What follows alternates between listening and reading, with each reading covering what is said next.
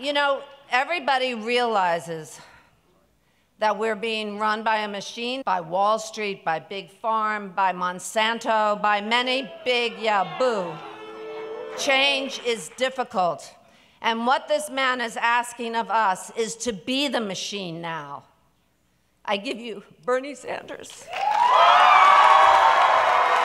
Uh, what stood out to you about Senator Sanders and what made you emotional tonight? I, I feel this it's just a miracle that we've gotten a candidate that can get this far without getting money from Goldman Sachs and the Koch brothers and uh, chumming up with Wall Street. And I don't think it's ever going to happen again if this doesn't guy doesn't get in because the system is rigged, and I don't think it can continue this way.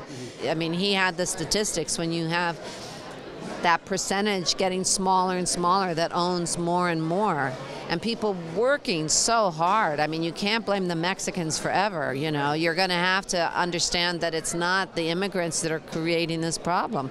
This is the time, and I guess that's why I'm emotional because um, I don't know how it could happen after this. I really don't. And this may be the only man that can come up through the system, through the pipeline, unscathed, unsold and pure. And we now have the opportunity to make that man our choice for the President of the United States.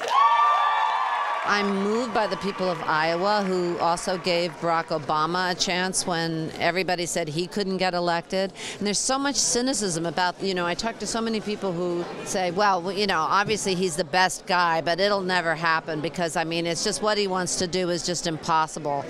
And what he wants to do is not impossible. You know, there are ideas that FDR had that worked, and we've lost our way. And so I'm moved by the possibility. We do not represent Wall Street. We don't represent corporate America. We don't want their money.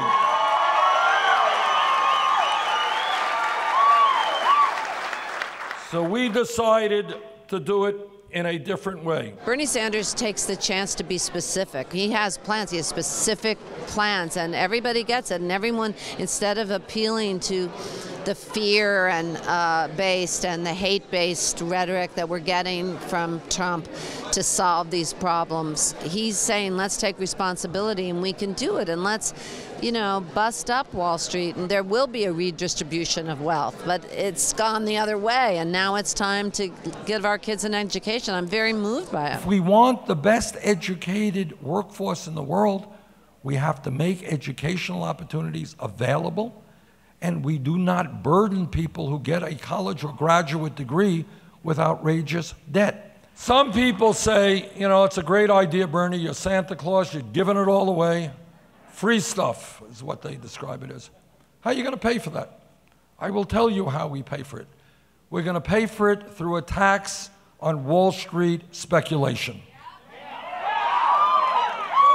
Now, when Wall Street went under, they went to the middle class for a bailout. Now it's Wall Street's turn to help the middle class.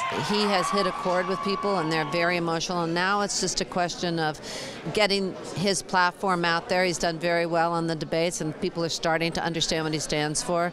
And I think that, you know, it's a lot of young people that are too young to be cynical.